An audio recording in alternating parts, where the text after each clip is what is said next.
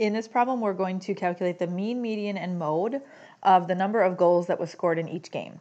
So we have a list of numbers. Um, the first thing that we need to do before we start calculating anything is to write the numbers in ascending order, and ascending means the least to the greatest. So down here, I'm going to write uh, all my numbers in order, and I'm going to cross them out as I go so that I can remember which ones I've already used.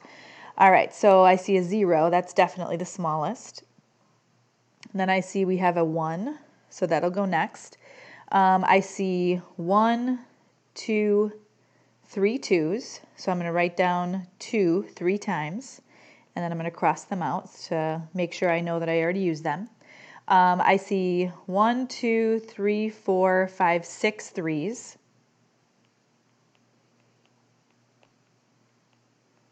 So now I'm going to cross those out. And then it looks like I have a 4 and a 5.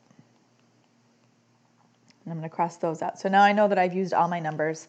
Um, and if you want to be really sure that you used all of your numbers, you could count the original, count the amount of numbers in the original list, and then count the number of numbers in your list and make sure that they're the same.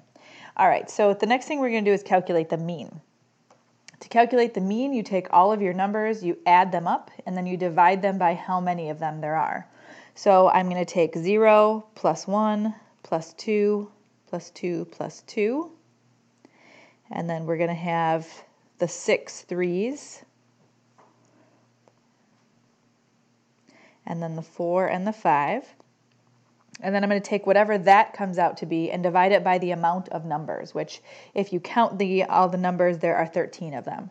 So um, at this point, you could put it in your calculator. You could just put in um, all the numbers on the in the numerator and press enter and then divide by 13 and when you do that you come out with a decimal that is 2.615 blah blah blah. There's a bunch of numbers behind it. So let's just say it's 2.6 now one thing I want to caution you about when you put this in your calculator um, if you want to do this all in one step you can either put it in as a fraction, and that will be just fine. If you don't use the actual fraction function and you're just going to add all the numbers and then divide by 13, you have to make sure you put parentheses in front of, or put parentheses around um, the things in the numerator. Otherwise, um, your calculator will follow order of operations and you'll get the wrong answer. All right, next we're going to find the median. The median is one of the easier things to find um, as long as our numbers are in order, which is extremely important. What we're going to do is um, we can just work our way in. Um, so I'm going to cross off the first and the last number, and then the second number, and then the second to last number, third number, third to last, and I'm just going to keep going until we come out with one in the middle. Okay, so this is the one in the middle. That means the median of these numbers is 3.